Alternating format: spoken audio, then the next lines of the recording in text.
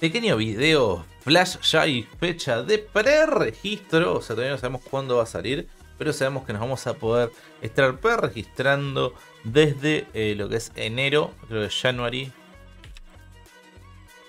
January es enero, se vamos, es inglés papá.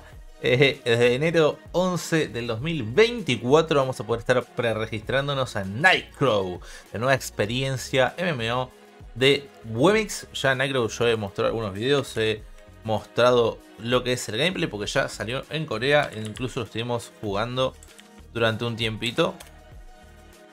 Eh, vamos a ver acá, Nightcrow, gameplay, R.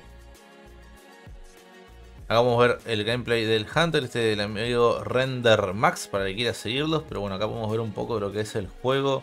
La calidad gráfica que tiene, la verdad que es muy linda. Es un juego de nueva generación. Ya estamos viendo el mundo cripto avanzar hacia otro lado. Wemix avanzar hacia otro lado. Ya no utilizando IPs viejas o contenido viejo, sino ya largando juegos nuevos para que sean juegos Web3, juegos cripto. La verdad que creo que este juego se va a venir muy, muy fuerte. Pero para no hacer un video tan corto voy a también comunicarles un poquito de lo que se viene con lo que va a ser el sistema económico dentro de Nightcrow. Nightcrow va a tener una gran diferenciación ya que va a tener 7 tokens in-game, no va a ser solo uno. Por lo tanto va a haber una gran variedad de cosas para hacer y también tenemos que ver esa, variedad eh, cuál sea la free to play, cuál no sea free to play. Ya que por ejemplo han anunciado y acá les quiero hacer una pequeña pausa para que me, se suscriban al canal, que me ayudaría muchísimo. Den me gusta, dejen un comentario con la pregunta que eh, quieran, que se las voy a estar contestando. Bueno, volviendo.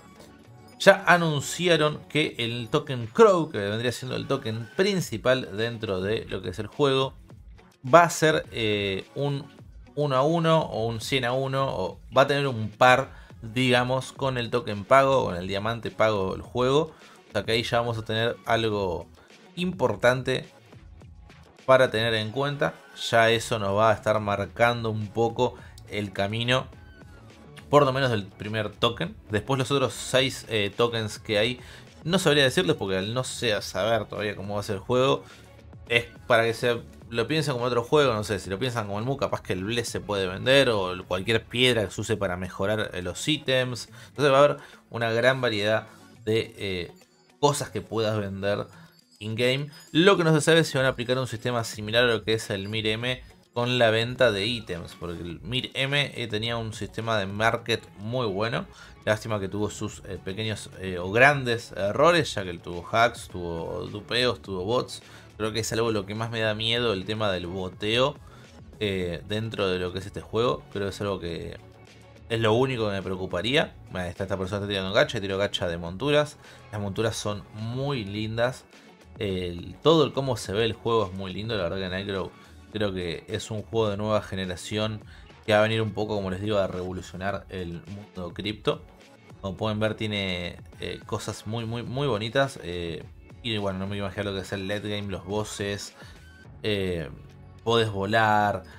Eh, eso lo toma mucho, toma muchas cosas del Mir, toma muchas cosas, bueno, de, los que fueron sus predecesores no directos, porque Mir no es un predecesor directo, pero sí algo que utilizó la empresa. Como pueden ver, eh, tiene mucho de gacha, mucho de pay to win. Va a ser un juego muy pay to win y muy caro ese pay to win. No va a ser un pay to win barato, va a tener que tener muchísimo gacha.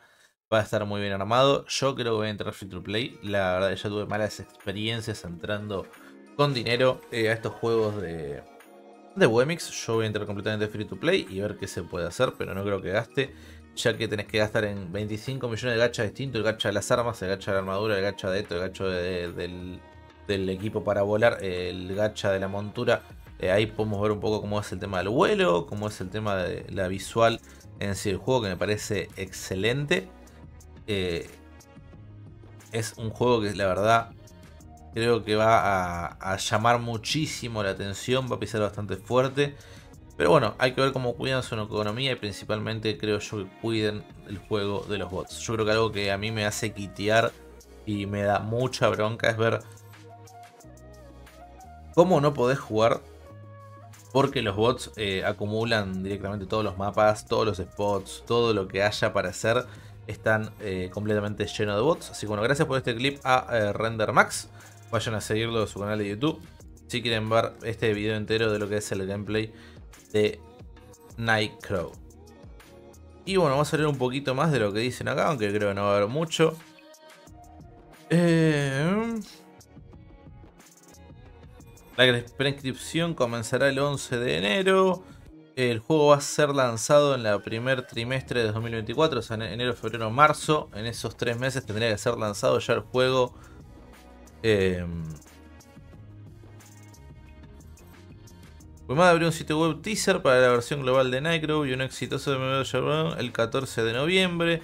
Nightcrow se lanzó en Corea el 27 de abril, basado en un Real Engine, Engine 5. El juego ofrece gráficos de primer mundo, un mundo de historias inmersos, acciones realistas y contenido de batallas a gran escala. Todo lo cual impulsó al nuevo juego a la cima de las, listas, convirtiendo en el juego más exitoso del país lanzado en 2023, o sea que es el juego más exitoso de Corea en 2023. Eh, para la versión global se agregarán elementos blockchain como una tokenomics avanzada, NFTs y un soporte omnichain a su contenido de alta calidad probando, probado en el mercado coreano. Los juegos pueden convertir sus personajes en activos utilizando NFTs e intercambiarlos a través de las redes blockchain conectadas alrededor del WebMix 3.0. Premwade planea lanzar la versión global de Necro en WebMix Play, la plataforma de juegos blockchain más grande del mundo, durante el primer trimestre de 2024. La prescripción está programada para el 11 de enero. Esto ya lo o literalmente leí lo mismo dos veces. Y acá está el tema de la economía y eh, todos los tokens, que esto es algo que les quería eh, recordar antes de ir terminando este pequeño video.